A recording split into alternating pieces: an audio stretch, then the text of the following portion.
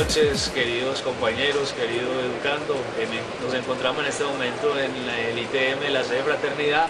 A espaldas mías está la Oficina de Atención al Estudiante. Eh, eh, nos hemos hallado aquí en este momento para realizar eh, dichas encuestas acerca del número de trámites que tuvieron que haber hecho muchos estudiantes para el proceso de matrícula. Encuentro con la compañera Paola, Escudero. que nos va a decir cómo le fue en el trámite de la matrícula, las diligencias que tuvo que llevar a cabo para dicho proceso. Hola, cuéntanos cómo fue ese proceso. Pues realmente tuve que realizar cinco procedimientos para poderme matricular. Eh, siempre el más, el más engorroso fue la fila que tuve que realizar para poder eh, matricularme, aparte de la impresión pues, de, de la, de liquidación porque no contaba pues con una impresora láser y papel no me la recibía. Qué bueno, Paola. Hola, eh, muchísimas gracias por tu atención prestada. Te quito más tiempo. Espero que te vaya muy bien. Voy a entrevistar en este momento a la compañera Beatriz Barrios. Beatriz Barrios, que nos va a decir cómo le fue en el proceso de matrícula y cuántas diligencias tuvo que haber hecho para dicho proceso. Beatriz, cuéntanos por favor cómo eh, Pues a diferencia de los otros semestres, me fue como muy bien, fue un poco más ágil, me gasté tres, eh, hice tres procesos que fueron menos que el semestre pasado, que había mucha fila, mucha congestión y un poquito de desorden. Mucho desorden. Sí. Beatriz, muy formal por buenas noches, me encuentro aquí con la compañera Andrea. Andrea, que nos va a decir entonces cómo le fue en el proceso de matrícula y qué número de diligencias tuvo que hacer. Andrea, cuéntanos por favor cómo fue ese proceso.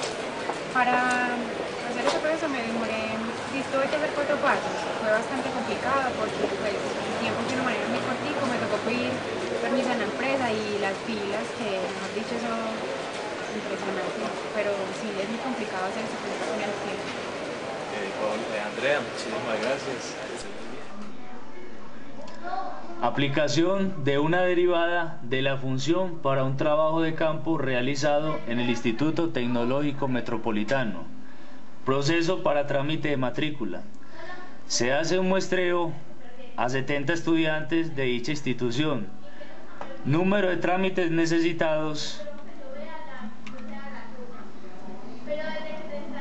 y número de estudiantes del ITM.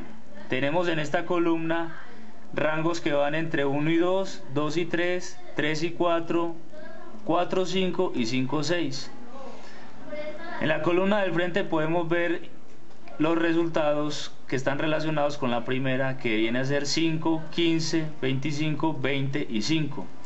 Llevando estas dos columnas, estos datos consignados directamente en la gráfica nos arroja por consiguiente que se forma una parábola. Dicha parábola cumple la función menos x al cuadrado. Tenemos en este caso el eje y, el número de estudiantes encuestados, y el eje x, el número de trámites necesitados para la matrícula.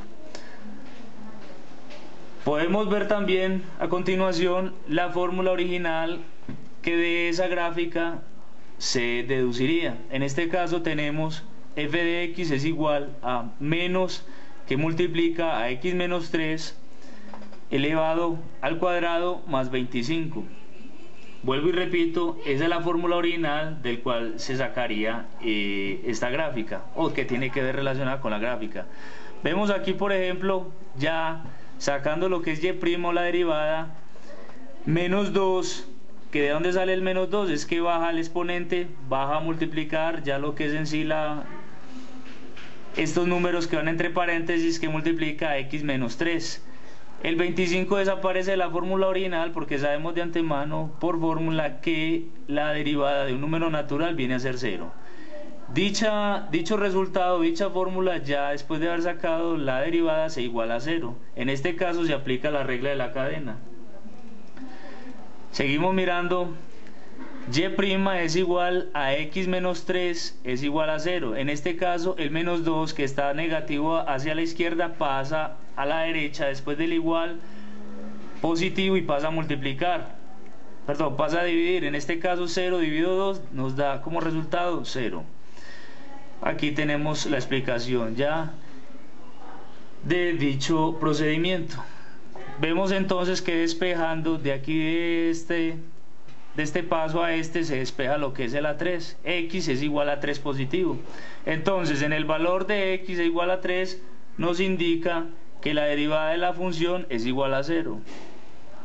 Seguimos mirando aquí, ya reemplazamos, ya hallamos x, ya hallamos el valor de x. En este caso reemplazamos ese x que es 3 en la fórmula original. Tenemos entonces que f de 3 es igual a menos, ¿qué viene a ser x? 3. 3 menos 3, menos 3 elevado al cuadrado más 25. Tenemos 3 menos 3 es 0. 0 elevado al cuadrado nos da 0. Y menos 0 más 25 nos da como resultado 25. El argumento dice que se reemplaza el valor hallado, que es 3 en la fórmula original, nos dio como resultado 25. Entonces se dice que el máximo valor de esta función es 25.